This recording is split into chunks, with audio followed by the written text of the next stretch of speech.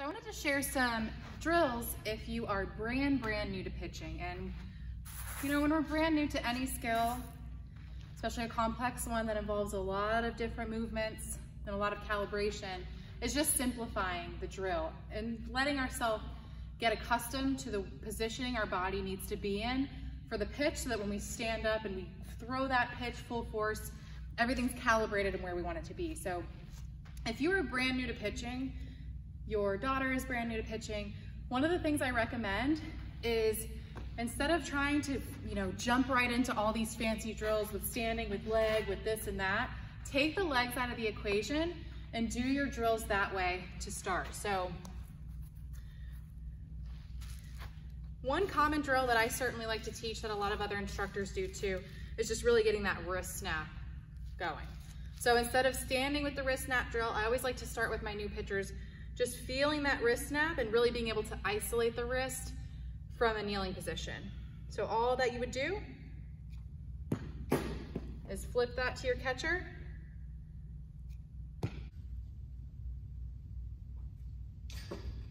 And again, we're taking the legs out of the equation. We don't have to worry about them yet. We're isolating that. The next drill that I always like to instruct that also serves very well from a kneeling position. We would take a few steps back for this drill, and this is the T drill. So same thing, I'm doing this T drill, taking my legs out of the equation. I'm really able to focus on where my upper body is.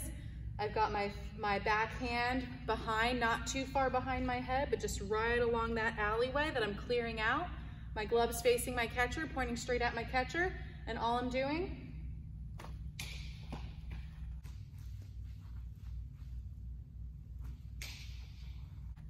Again, legs out of the equation. Let's focus on that arm path.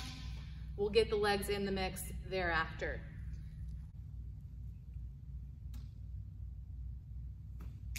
The next drill that works great from the kneeling position, again, I would scoot a few steps back. And now I like to do a windmill drill. So all I'm doing here is I'm pointing my glove at my catcher. I'm coming up and around.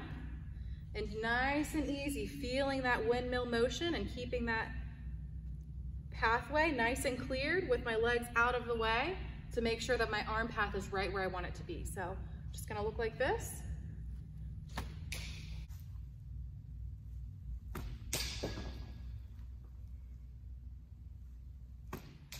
Nice and easy. So again, just a great practice. Take your legs out of the equation, do the snaps, do the T drill, do that windmill drill from your knees. And then once you're advancing and, and feeling confident and comfortable with those drills from the kneeling position, then you can do those exact same drills